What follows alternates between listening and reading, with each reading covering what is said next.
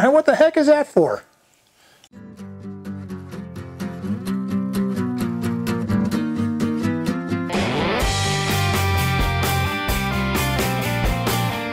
All right, so I've actually had a couple of questions, and you know what? I put it on here, and I didn't really know until just this week as I started studying it and uh, looking at it.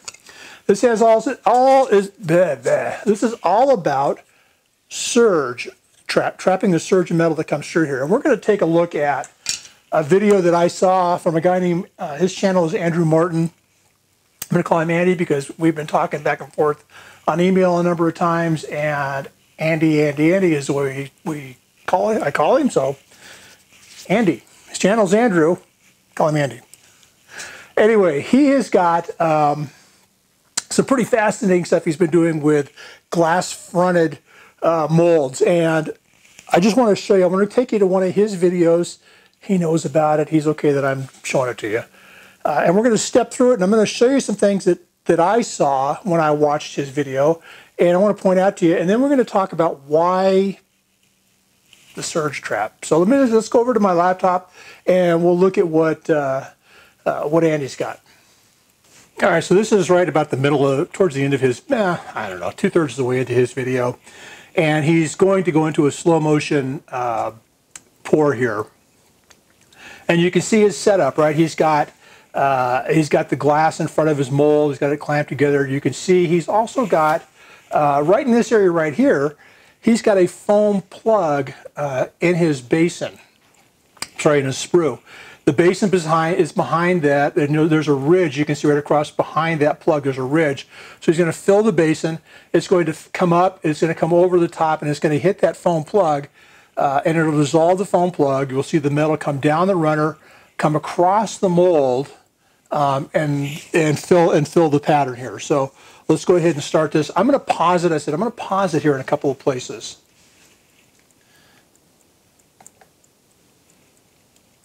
There comes the metal, misses his, misses his basin. You can see it filling in the basin first. And it's going to come up and over the top of the, um, the ridge. Now I'm going to stop it right there. First thing to notice about this thing is the foam plug is still in there. That metal has not melted the foam plug. I would have thought it would have been instantaneous, but watch how long it seems to take that, um, that plug to melt.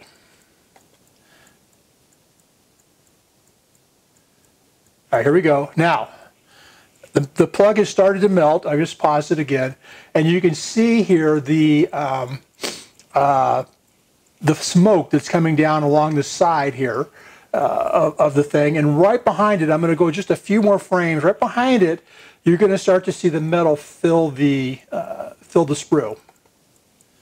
And right there, right in the back edge of the sprue, you can see the metal starting to come down behind. Uh, you still see that smoke sort of leading the charge.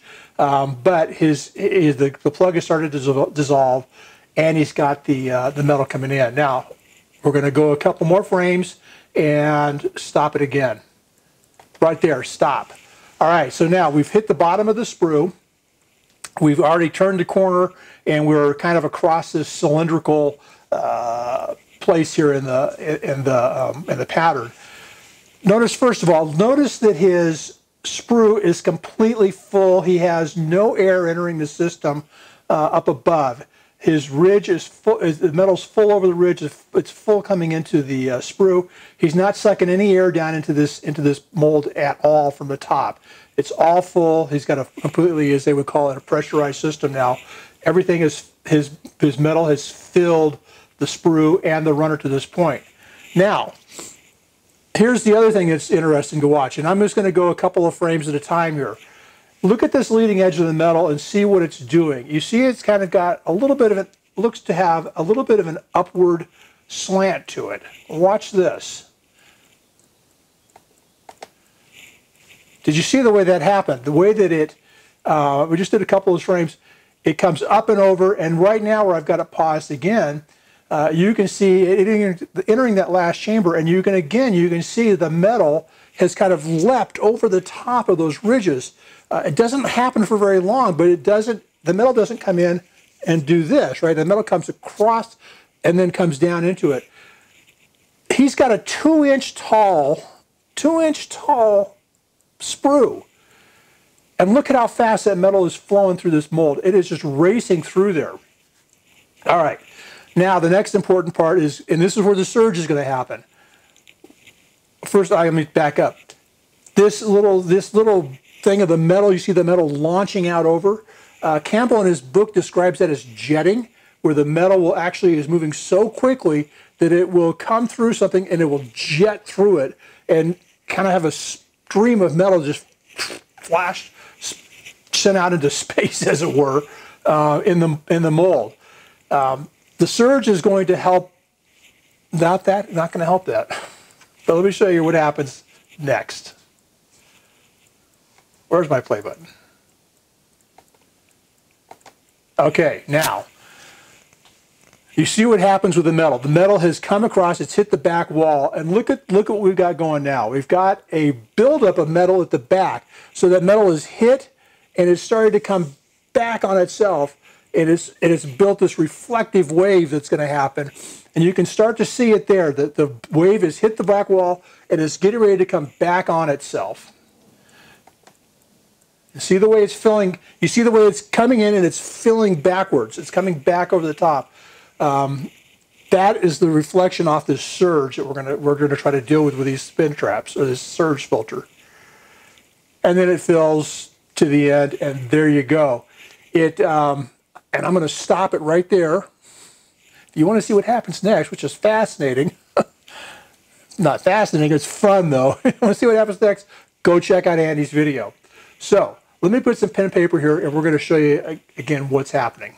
All right, let me let me draw uh, a variant of, of Andy's system here. So we got a basin that's going to have a ridge, and it's going to come down through a sprue. He's got a he's got a runner that comes across, but his runner is also his gate right into his part, and he had a he had a kind of a, a part that was I can't remember how it was exactly shaped, but it was something like this, right? Where it had it had some bumps in it and whatever. So he fills his metal uh, in here, comes in this port, it fills in his basin, and as it fills up, it fills his sprue. And it, when it comes down through here, this his sprue was full almost instantly, as we saw. That metal hits this bottom, and it essentially is jetting at this point. It is racing across the bottom of his mold. It came in here, it jumped across the first ridge, and then we see it settle down in here pretty quickly. Same thing, it comes across, jets across this guy, starts to fill in pretty quickly, but it does still leap across. It hits this back wall, this hard stop on the edge of his um, uh, on the edge of his pattern.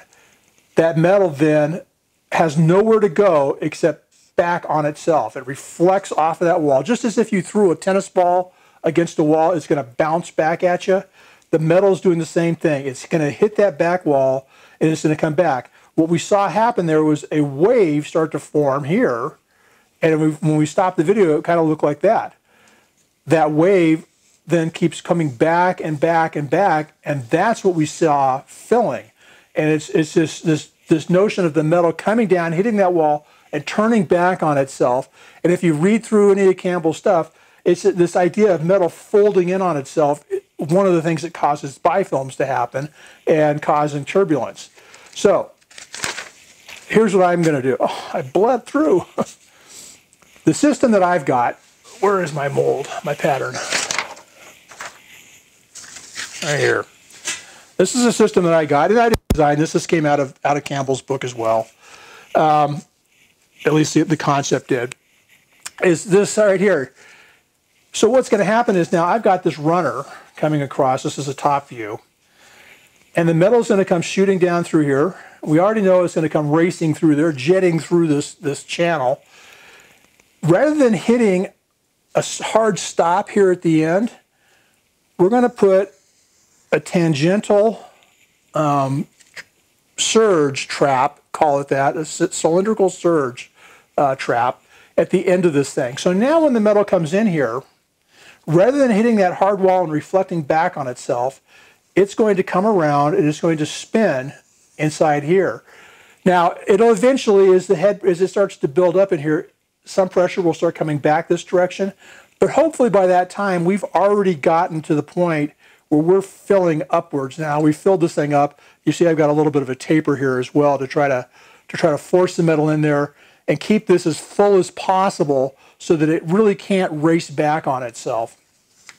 So that's the intent of this surge filter is to remove that, that metal coming down, hitting that hard wall, bouncing back on itself. Now, as I said, when I get when this app when this thing fills, it should fill across, and it'll come up. It'll come up into here.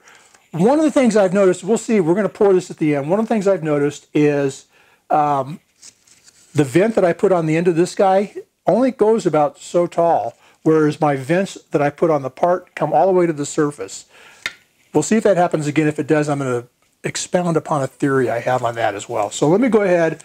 I'm going to get the part rammed up. I'm going to get it everything set. You can watch my previous video on making a belt buckle to see all that. All right, well, that was, uh, again, I think that was fascinating. And Andrew, Andy, thank you for putting those things up. If you guys haven't checked out his videos, uh, and I know you haven't because he hadn't had a lot of views, get over there and look at it. I will, I will link both his channel and that video uh, at the end of mine, so you can you can click on him and go follow through it and see what he's doing. Fascinating stuff. Uh, and Eddie is all about trying to figure this stuff out just like I am. So it's been kind of fun talking with him and, and trying to figure some stuff out together. Now, uh, I'm going to put up a little graph. I'm going to move right over here. This is a graph I do. I'm a marketing guy. Do? I'm a software engineer who has turned to the dark side and gone to marketing. So I'm going to show you a marketing chart. And the reason it's a marketing chart is there really are no numbers on here. it's not based on any data. it's all emotional. anyway, so let me just show you kind of where I'm at. I, you know, I'm trying to get better with better castings, and um, this is kind of my my thought of the world here. You know, if, if on the on this scale here, the y-axis, you've got levels of porosity, um, and zero being perfect, ten being horrible. Well, I believe that as you as we come down this uh, as we want if we if we start improving our pouring technique, we can get a lot of benefit um, without a lot of effort in reducing porosity. So we, the the slope of the curve comes down pretty quickly. Now there are other things that we can do uh, along the way. Uh, one of them is to uh, do things like degassing and fluxing your metal and trying to get things clear there. Uh, another thing you can do is you can use clean metal. What a novel idea. And you'll see improvement. But from what I've done, and the little bit of testing I've done, it, uh, it really is technique that's going to get us the most bang for the buck. There is improvement, no argument, there is improvement that can be gained from those other things. Um, but um, in my mind, it's, it's the increment is small. The increment of improvement is small uh, over what we're getting here. Now, I could be way wrong, and it could be that you know somebody who knows something will tell me otherwise. But uh, for right now, while I'm filming this, this is what I believe.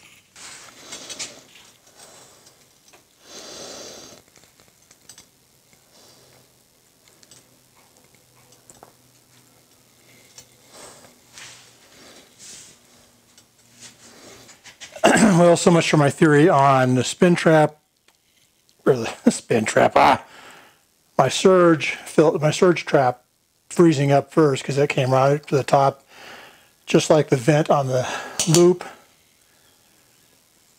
And I forgot to vent that edge. ah, I stick the piece in there and then I didn't cut a fit to it. Oh well. We'll cool this off and see what we get. Oh. I'm pretty happy, I think. All right, let's take a look at the uh, pour uh, really quick, and then we're going to wrap it up uh, because I got to get ready to go on a trip. Here's the buckle. Came out pretty nice, despite the fact that I have hunks of sand in there and the mold fell apart on me. I bought some cheap Petrobond. Don't do that. It doesn't hold together. I will never buy from that vendor again. Um, But let's, let's look at this guy. Here is the, here's my hand. Here's the sprue. Here's the runner coming across. You see I've got a, a curve here. Uh, the curve is based on one and a half times the radius of this, or diameter of that. Can't remember. Anyway, the curve is big, but it, it's there to, to drop us down. Uh, it will come across. You see the taper here, and you see my uh, my surge my surge trap. The metal should have flowed in here and, and, and surged around, reducing that that back wave, that reflection wave that we saw in Mark and Andrew's um, uh, video. So that's how it looked. I vented, actually put a vent right here and forgot to cut a channel for it. That being said, work on your technique. If you want to get better at this stuff, work on your technique, work on your molds, think about what's happening inside here. Um, that's what I got to say for you. I'm going to have a great day. You do the same.